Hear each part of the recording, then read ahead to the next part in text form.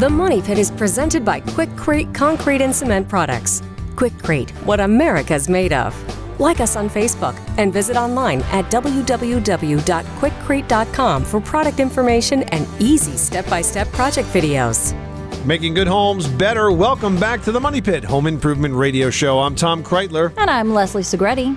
Well, spring and early summer weather tends to be wet and stormy. So now is the perfect time to give your home a wet weather checkup to make sure it's ready to weather any storm. Here to walk us through the steps is Ed Del Grande from Kohler Power Generators. Ed, welcome to the program. Oh, it's always a pleasure to be back.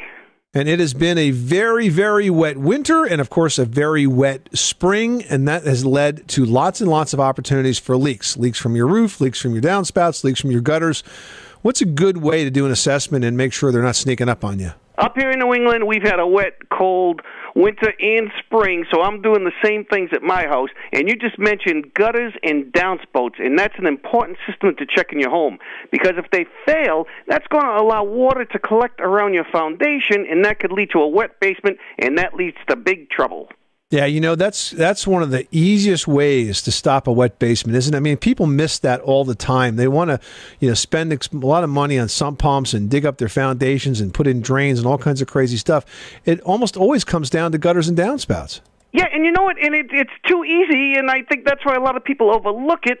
And the best thing that I found, and it just cost a few dollars, just put the four foot gutter extensions at the end of your downspouts, and that will eliminate a lot of water from collecting on your foundation. All right, another area of leakage your roof. Oh, the roof, make sure, especially with the long winter like we've had, get a professional. I never recommend going on roofs. I don't go on my own roof. Get a professional, go up there, check things out, and if there's any loose shingles, broken shingles, leaks, have them fix it up and then get that roof nice and tight. What about your landscaping? I feel like this winter everything got so beat up. I imagine that a lot of your trees and shrubs probably have some damage and maybe even some loose branches. Leslie, that's another issue people overlook. Trees look great, especially if they're close to the house. They offer shade. But remember, those limbs can come down in a storm. So in the spring, it's a good time to also trim back those tree limbs. We're talking to Ed Del Grande. He's a home improvement expert and spokesperson for Kohler Power Generators. So, Ed, speaking of generators, let's try to explain the difference between what most people think of when they think of a generator, and that's the portable generator, the generator that you've got to maybe pick up at the home center and fill up with gasoline and take out of your truck and run an extension cord out to, and the newer, more modern version, which is called the standby generator. Can we just cover that briefly for those that are unfamiliar? Yeah, I'll tell you, I go around the country, give a lot of information for the Kohler generators, and the standby generator is the best system I've seen because unlike a portable one, it's a fixed piece of equipment. Just like your central air conditioning units will be mounted to the outside of the house on a cement pad, well, the standby generators are permanently put in place, and it's permanently connected to your home, and it's totally automatic. So if the power goes out, you don't have to lug out uh, like a portable generator and set that whole thing up. The standby generator has an automatic transfer switch switch. It'll start up automatically and power your house. You don't have to do a thing. And it doesn't run on gasoline, which of course is very hard to find after a storm. When power's out, they can't pump gas at the gas stations. It runs on propane or natural gas, which is far more available.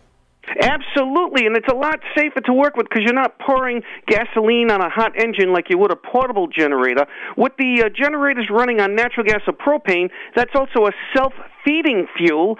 So once it starts up automatically, it's going to keep pushing the fuel through the engine automatically as well.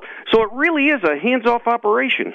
Yeah, and you can power way more in your home than you would with a portable generator. Yeah, Leslie, that's that's that's a big point because uh, what will happen with the portable ones? You have to run extension cords to each individual appliance. With the standby one, it's just a different power source coming in from your home. So your circuits in the house really are going to run the same as if the power was coming in from the streets. And the standby generators, they're sized up correctly, so it will run your entire house, even your heating and air conditioning system. The website is kohlergenerators.com. Head on over to kohlergenerators.com. Check out the standby generators. If you've not invested in a standby generator, you really should. Once you have one, you'll wonder how you went all those years without it. It's very reassuring. Trust me, I have one. And to know that my power, if my power goes out, uh, my generator will kick in and keep my house going means a lot. Ed Del Grande from Kohler Power, thank you so much for stopping by the Money Pit. My pleasure, guys. All right, still to come. If you're celebrating the 4th in the traditional way by, of course, setting off fireworks, we want to make sure that you know how to handle them safely to avoid a star spangled trip to the ER.